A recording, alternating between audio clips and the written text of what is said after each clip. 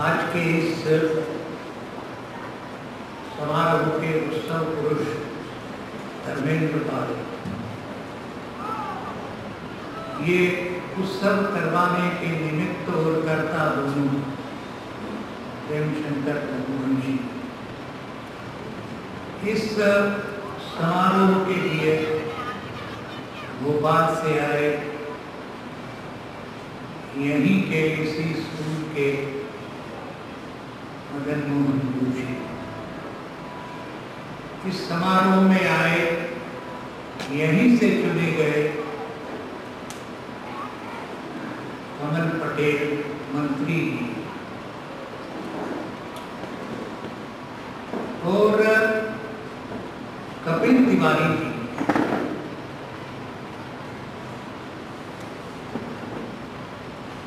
जब मैं शून्य काल में होता हूँ तो उनकी बहुत कृपा पूर्वक भेजी गई पुस्तकें मालवी का लोक साहित्य कैसे निमाड़ी का लोक साहित्य कैसे बुंदेली का लोक साहित्य जैसे पाग रचनाएँ मैं पढ़ता हूँ इसलिए पढ़ता हूँ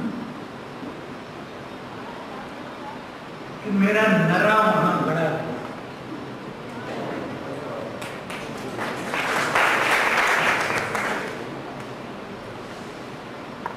अजात शत्रु की और मित्रों आप कम से कम तीन साढ़े तीन घंटे सुन रहे हैं। मैं सुनने के बाद एक शारीरिक प्रक्रिया होती है तो सुनते सुनते आपका शरीर बिल्कुल ढीला। एक शारीरिक प्रक्रिया होती है तो सुनते सुनते आपका शरीर ढीला तनाव रहित। और अपने में स्वायत्त हो जाता है। ऐसा मुझे आज यहाँ बैठकर, वो वहाँ बैठते हुए, सुनते हुए लगा। ऐसी स्थिति की एक अनिवार्यता ये भी होती है कि खुद कुछ करने की इच्छा नहीं होती। उसको शास्त्रों ने सच्चिदानंद की जब आपकी इच्छा नहीं होती कुछ करने की, क्योंकि जब खूब हो रहा है आसपास तो उसमें होने का सुख ही अपने आप में सबसे बड़ा प्रमाण होगा लेकिन बिना कुछ बोले और अपने आप में स्थित और मगन। मैं चला जाऊँ तो शायद आपको निराशा होगी। और ये भी लगेगा कि ये क्या आए और चले गए अपने ही सुख का इनको ख्याल है और किसी की उम्मीदों का नहीं है। तो मैं कुछ बात आपसे करता हूँ। एक बात की क्षमा चाहता हूँ कि मुझे जोशी जी और कपिल तिवारी दोनों की बात सुनने के बाद और जिन कविताओं के बारे में मैं कुछ कहूँगा या उस समय के बारे में कुछ कहूँगा। अगर बीच बीच में मेरा गला रुंध जाए तो आप ये मत समझना कि मैं ब्रेक डाउन कर गया। मैं जिस मनस्थिति में हूँ, उसमें ये बिल्कुल संभव है कि मेरा गला रुंध जाए, जिससे नरा गड़ा कहने के वक्त मुझे लगा कि मैं उसको महसूस कर रहा हूँ। इसलिए मेरा गला रुंधने लगा। उसके लिए क्षमा करें। मित्रों, मैं हिंदी की का अध्येता नहीं कपिल तिवारी जी ने जो बातें कही, वो शायद अपनी जगह सही हो, लेकिन वो भी नहीं पढ़ते तो मैं भी आज के साहित्य को कोई बहुत नहीं पढ़ता मेरे यहाँ सब पत्रिकाएँ मैंने अशोक वाजपेयी को कहा भी कि मैंने इतनी पत्रिकाएँ आती हैं उनमें से एक भी नहीं पढ़ी तो उन्होंने कहा कि आप बहुत सौभाग्यवान हैं क्योंकि बहुत सारी फिजूल के विवादों से आप बच जाते हैं। हालाँकि बहुत से विवाद वही खड़े करते हैं। लेकिन सच मैं नहीं पढ़ता हूँ। और इसलिए कभी ये होता है कि रघुवंशी जी ने ये समय रहते भिजवा दी हमारे मित्र मंगलेश जबराज जो कि खुद भी बहुत बड़े प्रतिष्ठित कवि हैं, वो कोई अपनी किताब घर आकर दे देते, कभी अशोक वाजपेयी दे दें, कभी केदारनाथ सिंह दे दें, कभी ऐसे लोग दे दें तो मैं थोड़ा बहुत उसमें से पढ़ लेता हूँ। लेकिन मैं अपना सबसे अच्छा समय कविता पढ़ने में ही गुजारा मेरे तीन प्रिय कवि जीवन में एक हरिवंश राय बच्चन, जब वो बावन, इक्यावन में इंदौर आए थे और मैं होलकर कॉलेज का विद्यार्थी था तो मैंने उनको चिट्ठी लिखी थी कि जब आप आएँगे तो आपके श्रोताओं में एक लड़का ऐसा होगा, जिसको आपसे ज़्यादा आपकी कविताएँ याद हो। ऐसा मैंने उनको लिखा। और अभी भी जब वो उनको सम्मान मिला और उनका पुत्र उठाकर उनमें से कविता पढ़ने लगा तो मैं टीवी पर देख रहा था, मैंने वो पूरी की पूरी कविता जो सुना, वो किताब से पढ़ा। जीवन की आपाधापी में तो वक्त मिला, वो अमिताभ बच्चन ने पढ़ी थी, और वो मैं पूरी टकाटक टकाटक टकाटक पूरी मैं उसको सुना दूसरे मेरे प्रिय कवि और जिनके कारण प्रेमशंकर रघुवंशी से मेरे, मेरा घरोपा तो जिस कारण इस पुस्तक को पढ़ने में मुझे ठीक लगा, वो भवानी प्रसाद मिश्र। और तीसरे, अभी कपिल तिवारी बात कर रहे थे तो मुझे बार बार उनकी कविता याद आ रही थी, वो टी एस इन तीनों की पूरे सारा लिखा हुआ मेरे पास है और मैं उसको अपने पास रखता हूँ। अभी जब ये कपिल जी बात कर रहे थे तो उसमें ये है in my end is my beginning और वो उपनिषद के साथ की वो कविता है। उसमें time past is time present time present is time past time past and time present are both present in time present. There is no end to time. That time can be conquered only through time. काल को महाकाल ही जीत सकता है और कोई नहीं जीत सकता ये सब चीज़ें ने बहुत अच्छी तरह से बताया। तो वो मैं पढ़ता रहता हूँ। लेकिन समय रहते मैंने बहुत चाव से पढ़ी। इस कारण से नहीं कि आज शाम को यहाँ बोलना है। इस कारण से कि वो पहली कविता ही जो वो स्कूल के बच्चों के बारे में है। वंशी खेड़ी में वो पढ़ाते हैं पढ़ा रहे इन्होंने, धर्मेंद्र पारे में उस स्कूल की भी बारे में वो कहते रहते हैं। और कहते हैं कि समय रहते हमको वो स्कूल और वहाँ का पढ़ाना बदल गया वो उस कारण से मैंने पढ़ना शुरू किया। और फिर उसमें मुझे कई छायाएँ दिखने लगी।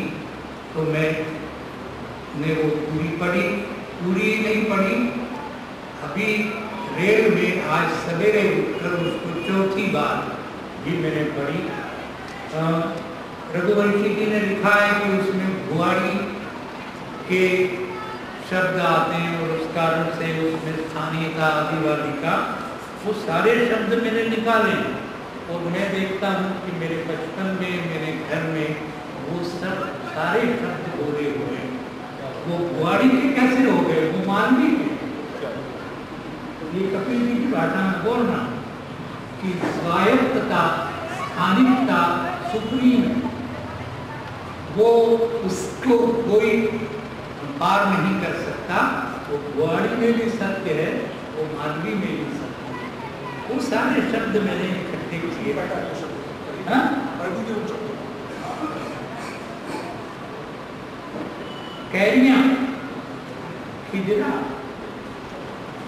कंडा टुकुर टुकुर इलिया पूर हरियाणा बागुड़ चकर भिंडी धमाक गुलिये ओला कसार, बकावली, हरिकच, ओटी, अयोध्या, ऊटी कौड़ी ओचेपन खीसे काकर लघु, भूखंडी दरवाजे खोस देते हैं फूला बड़, कस ओची चोमल भीदनी कोकड़ों ठिगा हिरवी ये सारे शब्द मैं बचपन में इस्तेमाल करता था तो वो शब्द मैं मानता हूँ कि मानवी के शब्द हैं। अब ये कहने के बाद मैं कहता हूँ कि मैं जहाँ कहीं भी जाता हूँ कलकत्ते जाऊँ चाहे उसके बाहर भुवनेश्वर या गुवाहाटी या कहीं जाऊँ तो हिंदी वाले बहुत मिलते हैं और कहते हैं कि आ, अब इनसे आप हिंदी मालवी सुनी। तो मुझे इसका बहुत गर्व होता है। मैं जब बचपन में प्रेमचंद को पढ़ता था तो ऐसे बहुत से शब्द थे उनकी भाषा के, जबकि प्रेमचंद सबसे सरल गाय आदि आदि कहे जाते हैं, जो मेरी समझ में नहीं आते थे। बड़े होने के बाद मुझे समझ में आए कि वो इसलिए कि वो भोजपुरी हिंदी का उनका असर तो एक प्रकांड विद्वान ने एक बार मुझे कलकत्ते में कहा, मैंने उनको कहा कि आप मेरी हिंदी को मालवी हिंदी मत कहिए। आप जो हिंदी बोलते हैं वो भोजपुरी हिंदी है। श्रीलाल शुक्ल जिस हिंदी में लिखते हैं, वो अवधि हिंदी है। और दूसरे कवि जितने भी लिखते हैं, उनके मूल में भी उनकी भाषाएँ हैं। अगर उन भाषाओं को लेकर आप समझते हैं कि हिंदी का कोई नुकसान नहीं हुआ तो मानवी हिंदी से भी कोई नुकसान नहीं होगा। और हिंदी के सबसे अच्छे लेखक, माफ़ कीजिए, बनारस इलाहाबाद आदि से नहीं आए। वो सब इस होशंगाबाद और इंदौर तक जाने वाले और उनके नाम कहे कहा कि माखनलाल चतुर्वेदी से बेहतर किसी ने वो किया हो तो मुझे बताइए, चिरगांव के झांसी के पास के हमारे लेखनी शरण गुप्त जी थे, दिनकर भी थे। उसके बाद भवानी प्रसाद मिश्र चाल में जो कविता कर देते हैं, वो हिंदी का और कोई कवि करके बता बता। हमारे परसाई जी ने जो हिंदी लिखी, व्यक्त की, वो कोई अगर लिख सकता हो तो लिख के बता दे और शरद जोशी और इधर के सारे लिखने वाले जो सरल सीधी, सच्ची हिंदी लिखते हैं, वो कोई लिख के बता के मैंने ये कहा, क्योंकि स्थानीयता की हँसी उड़ाना और उसको हिंदी राष्ट्रभाषा नहीं रहेगी अगर हम स्थानीयता की बात करें। संस्कृत से जोड़ो, अगर नहीं जोड़े तो हमारी परंपरा से नहीं जोड़ोगे।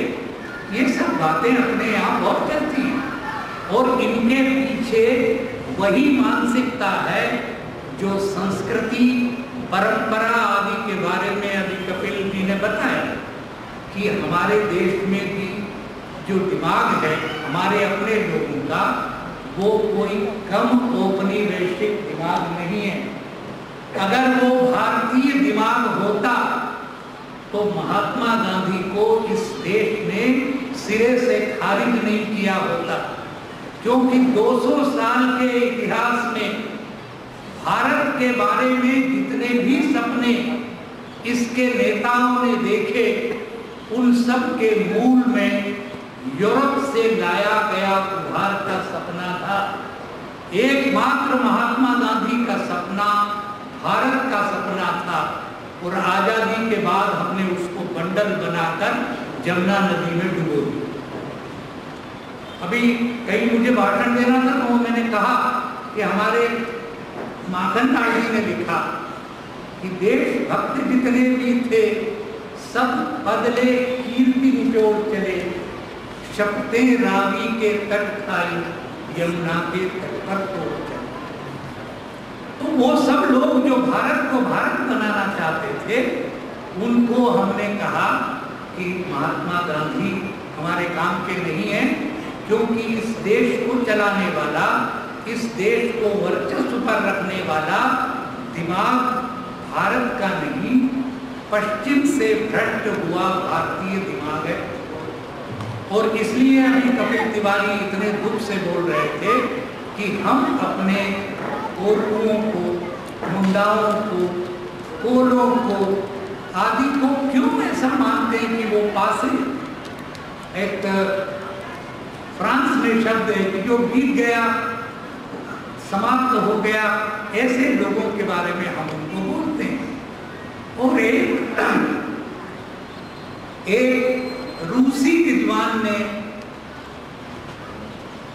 बहुत शोध करके बताया कि भारत का जो आदि ग्रंथ है, ऋग्वेद, उसमें कम से कम चौसठ शब्द मुंडारी भाषा से आए हुए हैं। अब ऋग्वेद लिखने वालों को अगर मुंडारी लोगों से मिलना जुलना और उनके साथ रहना का संस्कार नहीं होता तो वो चौसठ शब्द ऋग्वेद में नहीं आ सकते थे। अगर मुंडाओं की संस्कृति से वेद निकले हैं, वैदिक संस्कृति से मुंडा नहीं निकले, अगर ये आप कहें तो आपको इस देश के लोग खदेड़ने पर उतारू हो जाएँगे। लेकिन इन मुंडाओं में, इन गोरकुओं में, इनमें वो सब बताया है जिससे संस्कृतियाँ सभ्यताएँ बनती हैं। और हम उनको उसी उपनिवेशवादी नज़र से, उसी नागरी नज़र से देखने की कोशिश करते हैं, जो अंग्रेज़ों ने और पूरे यूरोप ने हमको सिखाया। मैं बहुत झगड़ने के बाद मेरे समझ में आया कि जब अरस्तु और उनके सॉक्रेटिस और आदि लोगों ने सोचना चालू किया तो उन्होंने कहा कि मनुष्य चार तत्वों से बना उसके पहले से हम कहते आ रहे हैं कि मनुष्य पाँच तत्वों से बना उनके और हमारे चार और पाँच तत्वों में क्या फ़र्क है? तो सबसे बड़ा फ़र्क आकाश तत्व का हम मानते हैं कि आकाश तत्व भी मनुष्य को बनाने वाला एक तत्व है। तब मुझे समझ में आया कि जिसको हम भारतीय संस्कृति कहते हैं, वो आकाश की संस्कृति है, पूरी पश्चिम की संस्कृति, समुद्र की संस्कृति है, और इसलिए उसमें समय सीमित है, उसमें तूफ़ान आने वाला है, उसमें नैया डूबने वाली है, उसमें सारा वातावरण उसको बाँध के रख देने वाला है, क्योंकि वहाँ का मौसम, वहाँ की संस्कृति की तरह समुद्र से संचालित है। हमारी संस्कृति और हमारा जीवन अनंत से, आकाश से संचालित है। इसलिए समय की हमारी अवधारणा और समय की उनकी अवधारणा दो बिल्कुल अलग अलग चीज़ें हम आज यहाँ हरदा के स्कूल में 21वीं सदी के सातवें महीने की आठवीं तारीख में होते हुए भी हम अनंत में हैं। और जो अनंत में है, वही आज यहाँ है। इसको हरमन हेस ने अपने सिद्धार्थ नाम के नाटक, उपन्यास में बहुत अच्छा समझाया। वो कहता है कि पानी की वो बूंद गोमुख गंगोत्री पर भी है। जहाँ मैं खड़ा हूँ, वहाँ भी है। और जिस समुद्र में वो मिल रही है, वहाँ भी है, क्योंकि ये पानी समय की तरह अनंत है। इसको जहाँ से भी आप उठाएँगे, ये पानी ऐसा नहीं कि पश्चिम में लोगों को समझ नहीं आता। वो कहते हैं कि भारतीयों को खुली जगह से कभी दिक्कत नहीं होती। वो पश्चिम के आदमी की तरह वो जो जो रिक्त है, उसको भरने की कोशिश नहीं करते, क्योंकि वो अनंत में बहुत स्वस्थ होकर जी सकते हैं, क्योंकि वो अनंत को जानते हैं। पास्कल ने कहा कि पश्चिमी आदमी की ट्रेजडी यह है कि वो थोड़ी भी स्पेस को बर्दाश्त नहीं कर सकता, वो तत्काल उसको भरने की कोशिश और इस भरने की कोशिश के कारण वो लंगड़ पंगड़ कचरा कूटा जो जो भी मिलता है, उसको सबको भरता जाता है और उसको महिमा मंडित करके इतिहास कहता है। तो ये जो अलग अलग समय के अलग अलग प्रकार की जीवन अवधारणाएँ हैं, ये सचमुच अगर कोई काम करे तो कुछ एक दो हज़ार लोगों को कुछ जीवन पर्यंत बल्कि एक दो जन्म लेकर काम करने की ज़रूरत है कि हम क्यों दूसरों से भिन्न हैं और क्यों हम अपनी भिन्नता में रहने के लिए स्वायत्त और स्वतंत्र हैं। ये स्थापित करना बहुत मुश्किल है, क्योंकि वो आता है बेचारा दिल्ली वाला, वो कहता है, क्यों? ये तो ग्लोबलाइजेशन का जमाना है। और आप तो बात कर रहे हैं कि ये होना चाहिए और वो होना चाहिए, वो होना चाहिए। दुनिया में सब एक हो जाए। क्योंकि बिना ग्लोबलाइजेशन के अब दुनिया टिकेगी नहीं। तो ये मानकर अपने विचारे शरद पवार और ये मानकर अपने विचारे मनमोहन सिंह और ये मानकर अपने मोहनतेक सिंह और जितने भी बड़े बड़े विद्वान हैं वो कहते हैं कि भारत की खेती तो खत्म होनी है। उस तरह से हो ही नहीं सकती खेती जैसे आप करते हैं। क्योंकि वो तो अनार्थिक खेती है। वो पोसाती नहीं। आपको खेती तो वैसे ही करनी पड़ेगी, जैसे कि वो अमेरिका में होती है। और अमेरिका में ऐसी खेती होती है कि जब सेंसस होता है तो किसानों का व्यवसाय उसमें शामिल नहीं होता। क्योंकि इतने कम किसान बचे हैं कि उनकी जो जनगणना होनी चाहिए, वो निरर्थक है। अगर भारत में सिर्फ़ पाँच करोड़ किसान खेती में रहेंगे तो वो जो पैंसठ करोड़ लोग हैं, वो कहाँ जाए उनने आईटी नहीं सीखा है।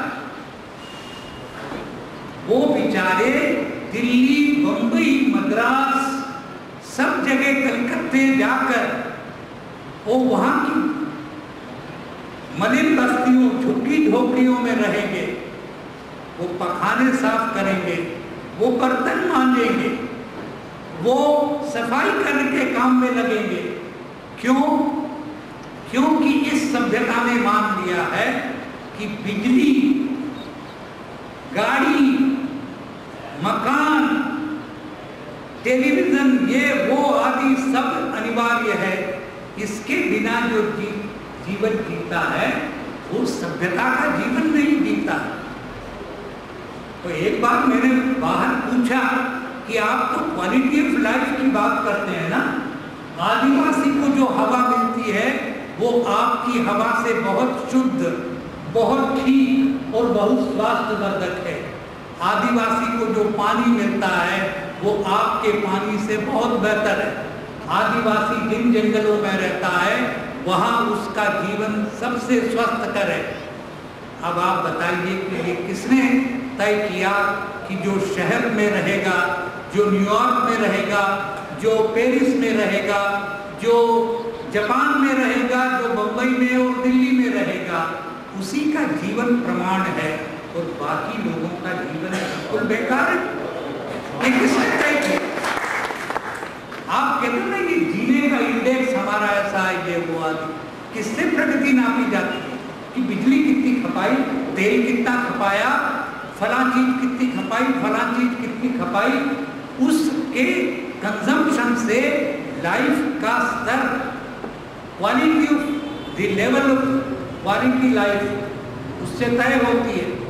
हमारा कहना है कि आदिवासी का जीवन ज़्यादा क्वालिटी लाइफ का है, लेकिन आपके सारे विद्वान कह रहे हैं कि अगर आपने वो जो जंगल का नया अधिनियम आने वाला है ना, जिसमें ज़मीन जंगल की आदिवासियों को दी जाएगी, वो अगर ला दिया तो इस देश के जंगल भी नष्ट हो जाएँगे, इस देश की वाइल्ड लाइफ नष्ट हो जाएगी। एक चीते को, शेर को जीवित रखने के लिए आप आठ करोड़ आदिवासियों को दिल्ली, बंबई, कलकत्ता के स्लम में फेंक देना चाहते हैं।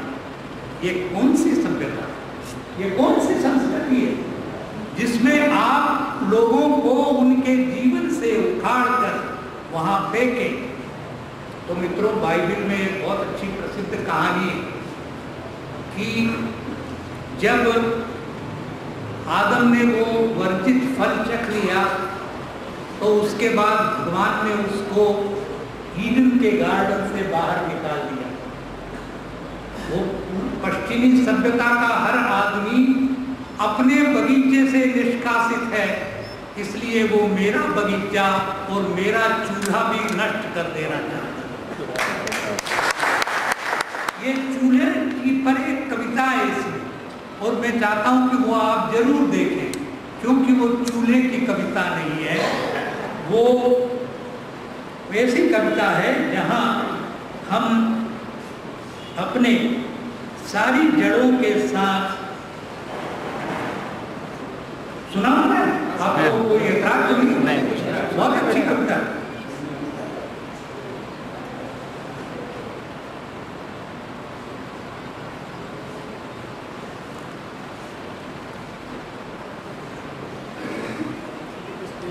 नहीं हो गया भाई फोकल लगाने के कुछ थोड़े बहुत नुकसान भी होते हैं ये कविता है मिट्टी का चूल्हा गवाह था माँ के प्यार कितनी पक गई थी उसकी दीवारें, लगातार सालों आँच सहते, जैसे माँ की एक एक बातें चूल्हा भरे पूरे परिवार का इतिहास था। जब जब चूल्हा फरकता था, कोई अतिथि कभी भूखा नहीं जाता। चूल्हा हम भाई बहनों माता पिता में गैर नहीं था। चूल्हा घर को घर करता। हमने चूल्हे को कभी बुझा हुआ उदास नहीं देखा, जैसे पिता। अब तुम इस चूल्हे को उखाड़ना चाहती मैं अपनी जड़ों से कटकर कैसे पलट सकूँ? अब ये कविता अभी विद्वान लोग कहेंगे और लिखेंगे भी कि धर्मेंद्र पारे जो हैं, वो उत्तर आधुनिकता से काफ़ी प्रभावित हैं। और आजकल हिंदी में उत्तर आधुनिकता का वैसा ही ज़ोर चल रहा है, जैसे कपिल तिवारी कह रहे थे कि इतनी टिप्पणियाँ बिना ग्राहक समाज, बिना पाठक समाज के होती रहती तो वो क्योंकि उत्तर आधुनिकता पश्चिम में चल रही है और वहाँ से आई है, इसलिए उम्मीद की जाती है कि हिंदी का हर बड़ा लेखक जाने कि उत्तर आधुनिकता क्या है और उसमें कविता लिखने की कोशिश अब उत्तर आधुनिकता जिसको कहते हैं, उसकी सबसे बड़ी निशानी है